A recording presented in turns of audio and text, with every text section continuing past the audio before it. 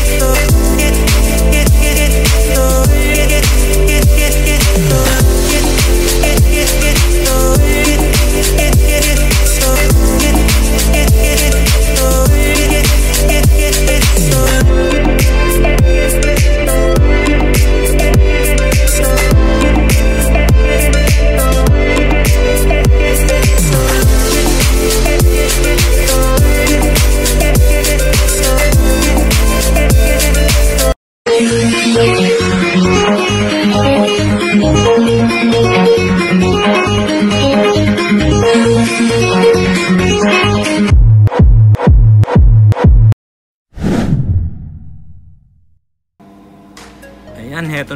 tayo. Good morning, good afternoon, at good evening sa ating lahat. Lahat ng ating mga taga-subaybay la- sa Laruan Juan. Eto, mag-open tayo ngayon ng bagong product which is, anong pangalan nito? Scooty Skatey. Yan. Wow! Something cool, unique. Skateboard siya at the same time, uh, scooter. Ayun. Skatey Scooty. Kakaiba.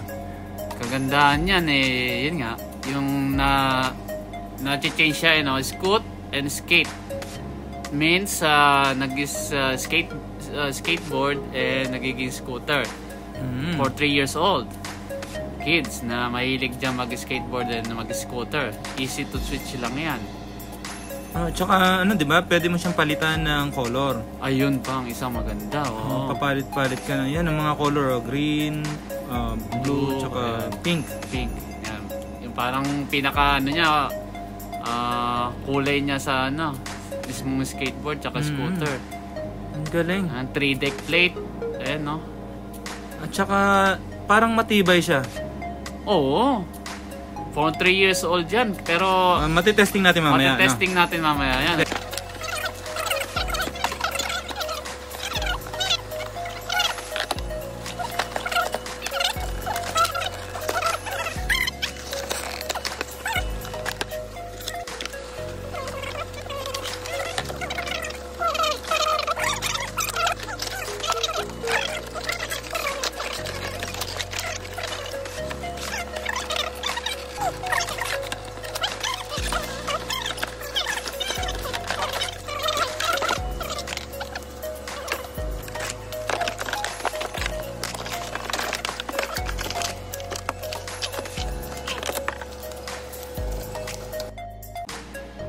Na guys. Yan na yung cover natin na pwedeng palit-palitan ng kulay. Ah, mukhang madali lang naman siyang palitan, no? Oo, ah, ano lang yan eh. Ah, May screw sa may likod. screw sa, li- sa ilalim, Sa sa likod. ilalim. oo. Meron siyang blue, green, tsaka pink. Yun. Ito, try natin buksan. Oo. Oh, hindi, hindi jam Ay, guys. mali, mali. Oo, Ay, mali ulit. mali dyan guys. Mali. San, san, san dumidukot. Oo, mali eh. Hindi, hindi natin madukot dyan. Pala dinudukot dito. Kaya tingin muna tayo sa ano, dapat tingnan muna natin guys yung manual. May kasama yan, included yung manual dyan guys. So, yung mga, ah, kung meron man kayo na itong ah, laruan na to, itong ah, scooter na to, skate, skatey scooter. So, tingnan nyo muna first yung guide natin para na manual. Oo, pag di nyo Pag di nyo makakabisado. kabisado. Pero pag yung mga expert na talaga at kabisadong kabisado nyo na to, eh, of course, no need for manual. no need for manual na. Lalo na yung mga mahilig manood sa YouTube at tumitingin ng mga bagong scooter, alam nyo na kung paano laruin yung mga to. Oo naman, mga, mga, syempre mga bata dyan, panay YouTube dyan. So, huwag nyo kalimutan mag-subscribe kids. Oh, yun. yun, yun. Siyempre, kakapanood nyo, hanapin nyo na rin sa laruan ni Juan. Oo. Siyempre, yun ang ano natin, ayan. Hanapin na natin kasi di pa namin masyadong kabisado. So, bago lang namin bukas to. Bagong ah, laruan sa sa bahay ni Juan. Few moments later.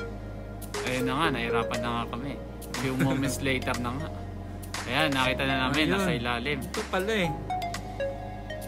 Oh, screw type. Eh, tatanggalin lang yung mga screw, guys. Ayun, tingnan yung, ayun, ano, magandang klase. Hmm.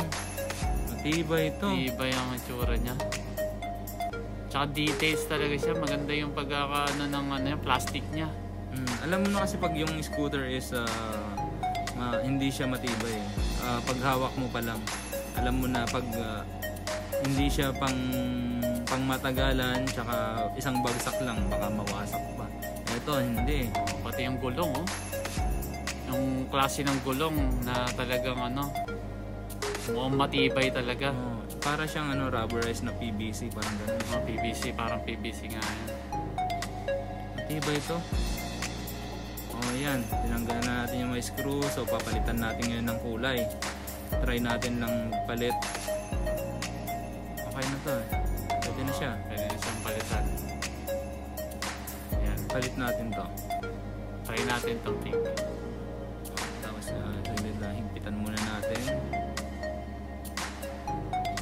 Na ako ah. Oo, ako din. Gusto ko nang i-try sa likod. Eh, kaso lang eh, ako ang mag-tatry so ayoko ng pink. Nagbago isip ko. Ang blue na. Oh, total day off ka naman. Pumunta ka dito para para tumingin-tingin ng mga bagong laruan natin. Hindi ano, maglaro-laro ka sa labas mamaya. Oo, tatry natin yan guys. Actually guys, ah, di na ako 3 years old. Pero tatry natin to. Di na, doon natin masusubukan yung gaano katibay. du- durability na itong ah, Yun, yun. toys na to. Itong scooter na to, skatey scooty. Mhm. Talagang tingnan natin kung pang malakasan talaga to. Ito na, malapit na. Tignan natin subukan guys. Ay, eh, kino-close lang natin mabuti lahat para Ah, sa ayan pala guys oh. Ayan, napapalitan Palitan din na rin yan. natin yung parang ano bang tawag dito sa Parang ano niya, yung dito ko maapak para sa brake eh. sa brake, oh, parang brake siya. Parang na- stopper, parang ganun. Yung mga experts sa experts sa mga is, ano, ano nag-skateboard dyan, kabisado nila to. So, ako naman, ang sinasakyan ko dati, kariton eh. Hindi- ikaw, anong sinasakyan mo naman? Ah, ako dati. Dati, ang ginagawa namin mga magkakaibigan, gumagawa kami ng kahoy Oh, na may ah, gulong na ano lang, namumulot kami ng gulong sa jack shop. oh. Tapos yung bibuild namin, parang ah, scooter din, parang bisikleta ang dating. Ewan ko kung may nakaka-relate sa mga sinasabi ko ha. Pero dati kasi makukulit din kami. Yung mga kahoy-kahoy, tapos yung mga gulong na nakukuha namin sa junk shop. Yun, pinagsasama-sama namin, parang ginagawa ng bisikleta pa. Kasi skate, yung scooter dati, tsaka skateboard, parang di pa gano'n sikat yung bata pa tayo. eh. Oh, bakit hindi pa sikat sa inyo? Ah, kasi ako nung bata ko, ano, ang sinasak yung ho- hover wheels. Oh my God! Hindi, Overwhelmed over. Talagang ano na yun ah. Yun lang yung ano, eh, naabutan ko eh, hover wheels, tsaka yung ano eh, yung seg, ano, segway. Segway. o- Yun, nakalimutan ko na yung pangalan kasi sobrang tagal ko na nilalaro yung segway na yun eh. Pag inuutosan akong bumili ng mantika, Segway lang. ka lang, eh, ka na pinakamayaman nun. Ayan guys, so, ayun yung sa, ano, sa scooter. Yung handle ng scooter. So, tatanggalin natin yung bilog. Kung gusto nyo lang palitan, yung skateboard. Dali lang naman to eh. Oh, ayan. Sa, sa ano lang, di, i, i-ano mo lang yan. Hindi mo na kailangan i-screw. Yan, kasi yung iba, Ay, mali akala pala, mali, nila, mali. akala nila i-screw.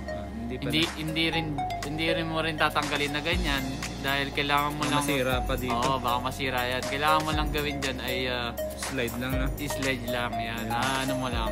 Slide mo lang yan tapos kunin mo na yung ano, yung cover sa ibabaw yan. Mm, nag, nag-open siya. Yung Oo, lock niya na sa ilalim. Sa ilalim yung lock niya. Yun, ganun pala yun. Yan, madali lang tapos isasalpak mo lang guys yung ano, yung ah, handle. Galing, galing. Sarap hawakan. Rubberized plastic.